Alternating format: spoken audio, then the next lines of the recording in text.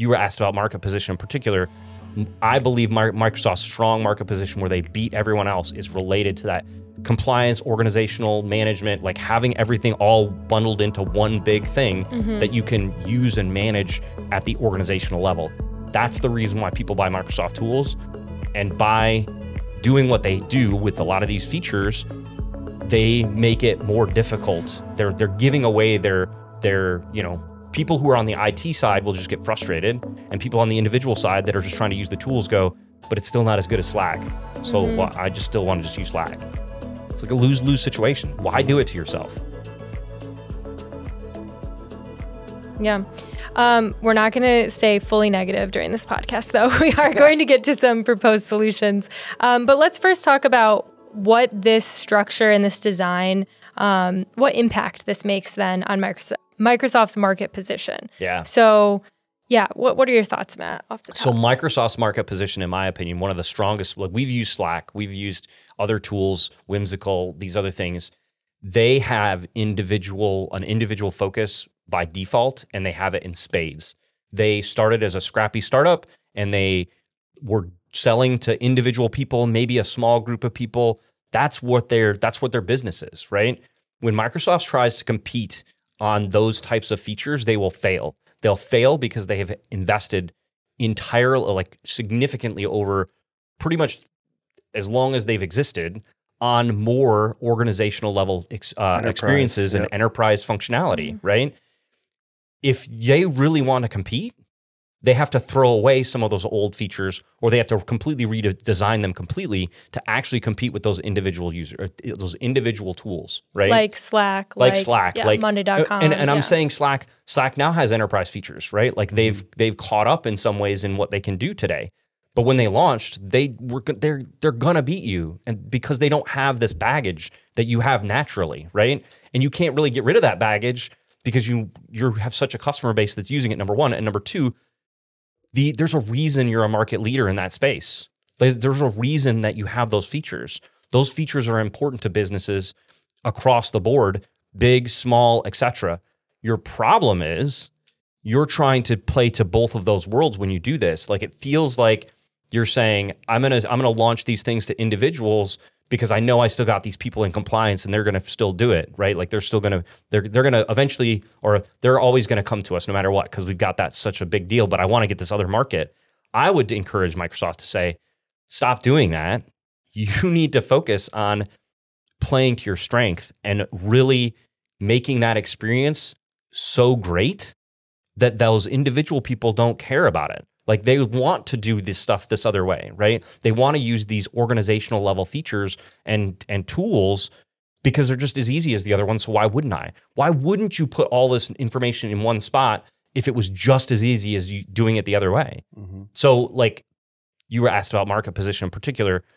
I believe Microsoft's strong market position where they beat everyone else is related to that compliance, organizational management, like having everything all bundled into one big thing mm-hmm. that you can use and manage at the organizational level. That's the reason why people buy Microsoft tools.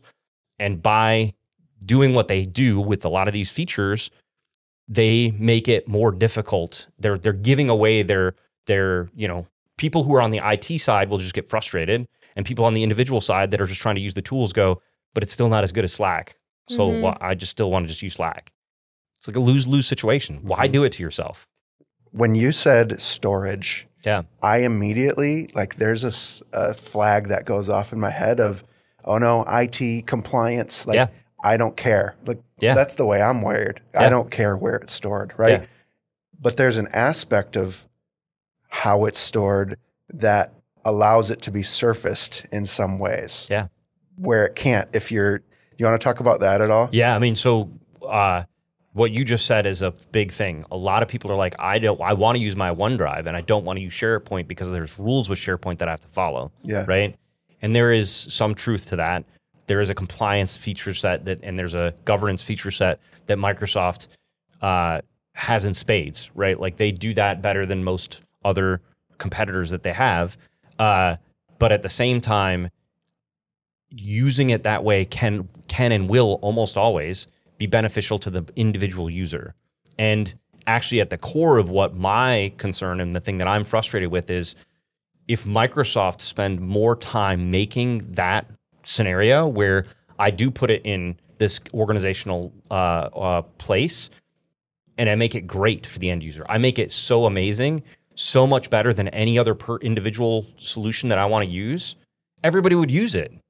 Like it would be the no-brainer thing to do. Mm-hmm. But what they do is they more often than not focus on that individual tool as the starting point, and then the rest of it is kind of an afterthought. And so they break it up into these two things, and they they in some ways perpetuate the concept that there's IT over here, which just want to you know pour water on everybody's you know fire of wanting to use the new cool thing, and there's users over here that only want cool fancy things. They don't care about any of the compliance stuff. The truth of the matter is, everybody they both teams like want to work together.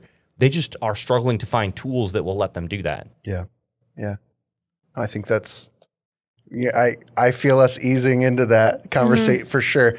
Uh really quick before we get too far, just to give people more examples of like uh instances of how they might uncover uncover this. Loop components you, Yeah. you mentioned here. Yeah. How is that? So this gets a little bit into the launching, the way they get it. Loop components work in both organizational and individual. You can put it so loop, loop components become a file effectively. That file can be stored in OneDrive, and today it can also be stored in Teams or in SharePoint and be leveraged. When they launched it, that wasn't the case. The way they when they launched it, the first thing they did was say you can use it in chat and email, and I'm going to store it in your OneDrive. And there was a big splash, and they did a big announcement, and a lot of people knew about it, right? Mm-hmm. But when that announcement came out, like you you told you actually were like, "Hey Matt, the loop's out, right?" And I went, "This is ridiculous. I'm not going to recommend this to anyone. Mm-hmm. This is so terrible. It's just going to promote people putting files and data in their OneDrive, which will just be another nightmare for all of our customers. Mm-hmm. I'm not going to recommend it to anyone." And then silent, no marketing, they launched it in channels and SharePoint. No big splash, right? I remember seeing something, but it I mean, I- I'm definitely sure it was wasn't. in the admin center. I know it was in the admin Yeah. center, but there wasn't a big thing, right? Yeah. And so then for me, what that creates is a scenario where I have a bunch of users that I have to be the gu- bad guy poo pooing on their brand new fancy thing, yeah. or I have to choose to do something wrong myself and then try to have to clean up the mess later on. Yeah. Mm-hmm. And I wish they would not do that. So that's an example of today you can do either one. You can choose and it's fuzzy and you know whatever and we can talk to people about what they should be doing, do it in a channel, don't use it in a chat unless you really have to, that kind of stuff. But when they launched it, I didn't have a choice. Uh, Microsoft handcuffed me. They ha- the only thing I could say about it is I I probably wouldn't use it. Right. I wouldn't recommend it. And this is a consistent um, pattern that you're that we're seeing or have seen over the last Yeah, few years 100%. um, of other things. So let's give a couple other examples. Um, let's take Teams. Uh, yeah. So in Teams, uh, they consistently launch stuff in chats and not in channels. So um, you know, being able to um, uh, pop out chats in channels, uh, you got it in, in chats. You didn't really get it until channels till later. Loop Okay. components, like I talked about, weren't available in chats, or were available in chats, not in channels.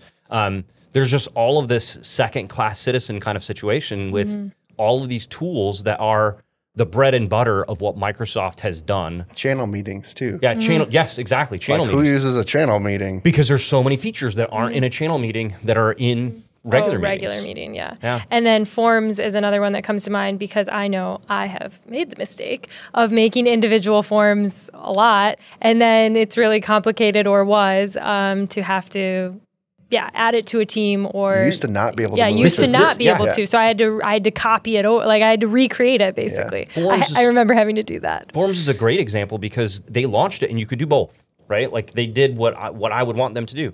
However, they promoted individual forms. And so that was Like, typically why where would you people promote, would. You want to promote people to do it in a in a group because if I'm creating this organizational knowledge where I'm going to capture all this data, obvi- I need to share it with other people. It's the organization's data. It's not my data. I'm not doing a survey of my employees as me as Matt. I- like mm-hmm. I'm not the one doing it. It's it's my position. It's my organization that's doing this. Yeah. And so they should be promoting. Like the edge case is Matt wants to send out a survey to ask some questions about how they feel mm-hmm. about something that he cares about, right? Like that's the edge case, not the primary case. And, so then yeah. they did it, and then to compound the problem, they didn't have a way to move it from one to the other until like I don't know, a year ago. It was two years. Like Yeah. it was not. It was just recently. And a- as someone I remember in that scenario, I was newer to using forms, so I just followed the intuitive way, which Yeah. was to build the survey, build the form. I sent it out, and then one of you asked me, "Hey, have you gotten any responses on that? Can you send me over the information?" And I realized, "Oh, you don't have access to this." Yeah. Like, "Oh, I wish that I that it would have been more intuitive for me to create this in a group where now I don't have to try to share every it, it just made it actually a lot harder on me too." So, Yeah. I hear you on the the side of you want this level, this knowledge to sit at the level of the organization, but I'm also here to say it'll make your life easier too. Yes. Um, yes. because you don't have to jump through all the hoops then of getting it in the, the shareable spot. That's sort of what was just going through my mind is we have literally built a business on helping people navigate Yeah. this structure. Like yeah. in a perfect world, we wouldn't need to exist Right. because it was so It would was just be more intuitive, Because right? Microsoft would be explaining this to their users in a way that makes sense to them. That's natural, right? Like doing it the other way adds some extra steps. But like you said, if you could, if a once a user under like just un, for two seconds understands what it is, it's like, oh, of course I, right. Mm-hmm. yeah, that makes total sense. I, for sure, I want to do that, right? Um, yeah, it's a challenge for sure. Yeah. We've gotten to know some of the product people over the years and all great people. Like Yeah. in- on an individual level, like I uh, feel for them a little bit because they're trying to roll out new features and they're like, this seems like the fastest path to getting something in front of And someone. getting feedback. So they, yeah. And it's, there is a, a paradigm, like design thinking paradigm, which is yes, please get that in front of people as soon as possible. But it creates that that fork in the road that is really hard to get back to the other side. Yeah, I mean, it, it, the uh, the thing that I would encourage them to think about if they're listening is, um, your these other tools, these tools that are individual in nature, in the future, really should be thought of as the secondary scenario, right? Mm-hmm. When you think about implementing a feature, that's the one that should be like, if that comes later, that's okay because at least I covered the one that most people are using, most people are doing. Now, I recognize that's not the reality of today, but the reason it's not a reality of today is, like I said before, you know, it's just they haven't done a good enough job at it yet. But the reality is, if they don't solve that problem, Slack, Whimsical, like uh, all of these bigger, you know, Google, all these things, they're gonna get better at these things. They have Mhm. gotten better at these things, and they'll beat you to the other piece of it, right? Because you're giving them an opportunity to beat you on both sides. You're giving them space to do that. Um, whereas if you would focus on it and make that like stellar, be like as good as Like everyone else, the gold standard, Yeah. nobody in the world would care that you don't can't do the same thing in OneDrive. Like it's Right. not it doesn't or or that nobody would care that you can't do it for a month before you actually have it, right? Right, right. Everybody would be like, "This is so amazing. Everybody's going to love it. Everybody's going to love it." Yeah. It, uh, what comes to mind for me is like Planner. Like, Oh, yeah. man, Yeah. if they could just nail down that like core feature set and avoid this like draw to these other tools that are Yeah. knocking it out of the park, where I have to tell someone, oh, it'll be better in the long run if you don't go do this. Yeah. The integration isn't as good. So stick with Planner. And then you got to fight through that pain hmm it's hard sometimes Yeah. to and and we don't have a crystal ball we don't see what the path of Yeah. the roadmap of these things are and so we're uh, taking a little bit of a guess like a, an estimated guess but uh, it's Well, it's hard right now today, the warts are worth it. right right? Like the benefits that you get from a compliance management, organizational data, organizational uh, uh, collaboration, et cetera, are worth the hoops and the, oh yeah, I know that doesn't quite work right. Oh yeah, I know that doesn't quite work right. Uh, eventually, nickel that won't Yeah. be the case, and the other tools will be equally as good and my case for it will be different right if you if they don't do anything that's what will happen eventually on um that side of it. you know i just you know i've we've given just to be transparent we've given this feedback to microsoft Yeah. um in, in our capacity that we can it's not like we're heavily involved with all of the uh, all of the the teams you know you know i would encourage you if you have an opp- opportunity to have a conversation with microsoft to encourage them and let them hear that as well. Um, they respond, do respond to users' feedback. That is something that they do, um, especially in a lot of like teams and loop. And these teams are looking for feedback from end users. They look for volume. Yes, yeah, how Right. much you're talking about it. Yep. And so one of the problems that we have with our voice is we're one of some of the only people talking about it in the way that we're talking about it. Many times people complain about a particular feature that's going on. They don't like this one feature. They don't like that one feature. But they don't boil it down to the reason they don't like it is because of the way Microsoft is storing these things, organizing, and how they're focusing if I we can get more people talking to Microsoft about this particular problem, about the way that they're approaching these features, organization versus individual, I think we can start to see a change in how they behave. Um, and it's and I think it'll be better for them. I think it'll be better for us. I think it'll be better for everyone involved.